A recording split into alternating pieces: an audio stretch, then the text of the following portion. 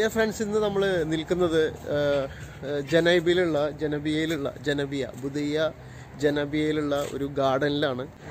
ഈ സമയത്ത് ഞാൻ നിങ്ങളെ ശ്രദ്ധ ക്ഷണിക്കുന്നത് എന്താണെന്ന് വെച്ചാൽ ഈ ഗൾഫ് രാജ്യങ്ങളിൽ ഈ ഇത്തരം രൂപത്തിൽ ചെടികളും അതല്ലെങ്കിൽ കൃഷികളും എല്ലാം ഡെവലപ്പ് ചെയ്യണം എന്നുണ്ടെങ്കിൽ അതിന്റെ ഒരു സീക്രട്ട് ആയിട്ടുള്ള റെസിപ്പി എന്ന് തന്നെ പറയാം. അതായത് അതിന്റെ ഇതിന് ആവശ്യമായിട്ടുള്ള മണ്ണ് മണ്ണിൽ ഈ ജൈവപരമായിട്ടുള്ള ഒരു ഫോർമുല അതിനകത്ത് അപ്ലൈ ചെയ്യണം. എങ്കിൽ മാത്രമാണ് ഈ ചെടികളൊക്കെ ഇങ്ങനെ വളരുള്ളൂ എന്ന് എല്ലാവർക്കും അറിയാം. എല്ലാ ഗൾഫ് രാഷ്ട്രങ്ങളിലും ഈ ഇത്തരം ബിസിനസ് ബിസിനസ് നടത്തണമെന്നുണ്ടെങ്കിൽ ഇങ്ങനെ ഒരു ഫെർട്ടിലൈസേഷൻ എന്ന് പറഞ്ഞാൽ അതിനൊരു വളം കാര്യങ്ങൾ ഒക്കെ ആവശ്യമുണ്ട്.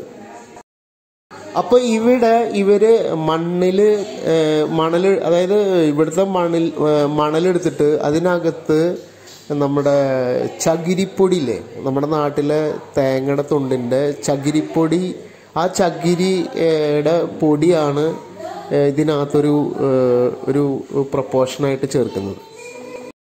അതിനെ ഒരു ഇവിടെ നമുക്കറിയാം കൊയർപ്പിത്ത് എന്നാണ് അതിന്റെ പേര്. നമ്മുടെ ചകിരിയുടെ ചകിരിയൊക്കെ എടുത്തിട്ട് പൊട്ടിച്ചിട്ട് ഈ കാണുന്ന പോലെ ബ്രിക്ക് ഉണ്ടാക്കിയിട്ട് ആ ബ്രിക്ക് ആണ് എക്സ്പോർട്ട് ചെയ്യുന്നത്. നമ്മൾ എസ്പെഷ്യലി കേരളത്തിൽ നിന്നും ഒക്കെ ഒരുപാട് ഇത്തരം ബിസിനസ് ചെയ്യുന്ന ആൾക്കാരുണ്ട്.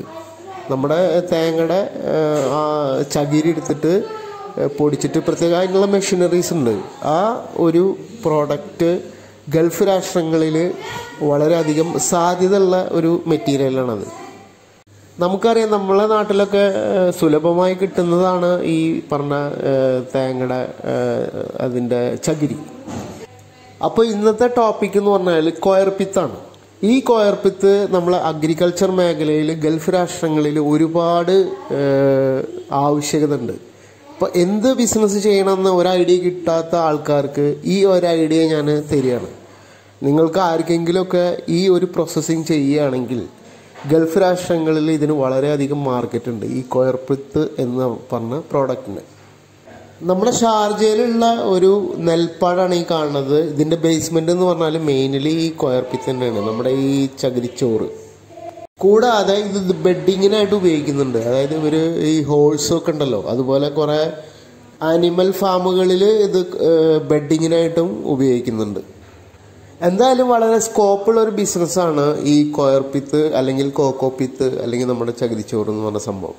അപ്പോൾ ആർക്കെങ്കിലൊക്കെ ഇൻട്രസ്റ്റഡ് ഉണ്ടെങ്കിൽ ഉപയ ഉപകാരപ്രദമാവട്ടെ എന്ന് കരുതിയിട്ടാണ് ഞാൻ ഈ വീഡിയോ ഇട്ടത്. പ്രൊഡക്റ്റ് ഇതാണ് ട്ടാ. അപ്പോൾ നിങ്ങൾക്ക് ചെയ്യാൻ പറ്റുകയാണെങ്കിൽ നിങ്ങൾ ചെയ്തോളെ. എല്ലാ മെഷീനറീസൊക്കെ നാട്ടിൽ ഇഷ്ടം പോലെ കിട്ടുന്നുണ്ട്. എനിവേ എൻജോയ് എനിവേ ഇതൊരു ഇൻഫർമേറ്റീവ് വീഡിയോ ആണെന്ന് ഞാൻ വിചാരിച്ചിട്ടാണ് ഞാൻ നിങ്ങൾക്ക് പോസ്റ്റ് ചെയ്തത്. അപ്പോൾ കാണുക.